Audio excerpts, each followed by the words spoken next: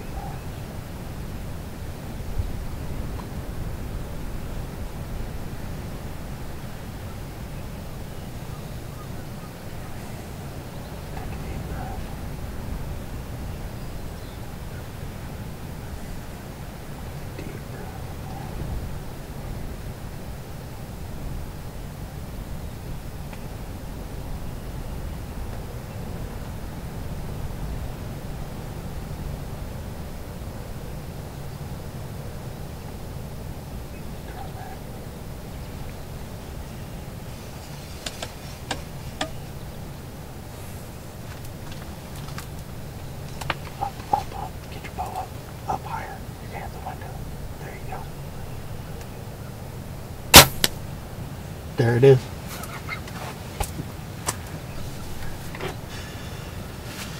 You were gonna hit the window, man. I know. In fact, you actually clipped the netting right there. See it? Yeah. I knew I was down there. I was trying to get it up a little bit. Congratulations, Chad. Your first bow bird ever. That's a tough shot. uh, That is. Leaning out like this. Leaning out, and the, the way the angle of the, the window can comes up there, you actually just you can see you just clip the netting just a little bit right there.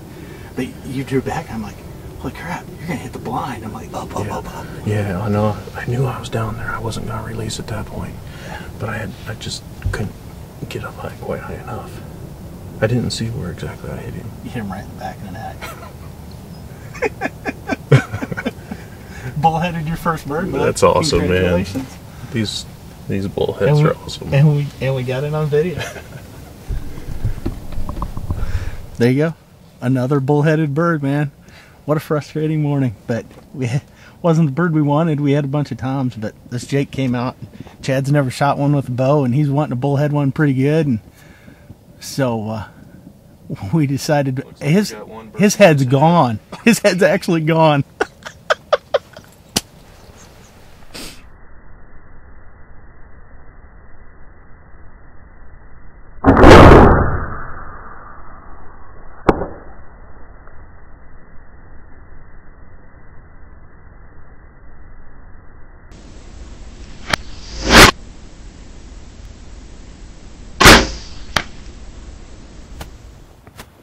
Holy cow!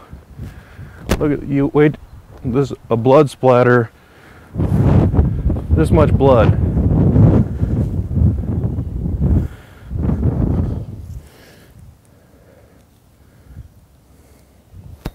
Okay, we got the head.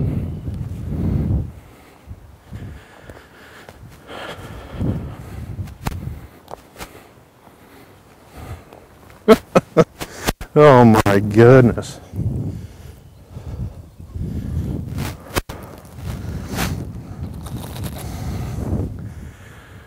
This Jake here isn't having its best day. Considering I missed my first shot and he came back to give me a second one. Not a bad little bird.